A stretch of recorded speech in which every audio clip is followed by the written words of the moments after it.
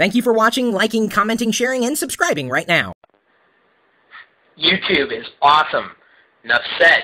Everybody seems to have a YouTube account, or they visited YouTube at least, you know, a million times a day. The question from the chat room came in just the other day, actually just two hours ago, okay, so about five minutes ago, by a user named Zoomrix, and he's asking about the best codec for YouTube videos. Codec is a piece of software that allows you to, in some cases, view video and audio files, media files, in some cases, edit them. Well, I don't know if codec is necessarily the right specific question to ask here. I think the real question is, is what kind of quality would you want to upload to YouTube? Your video resolution, optimal size is 320 by 240.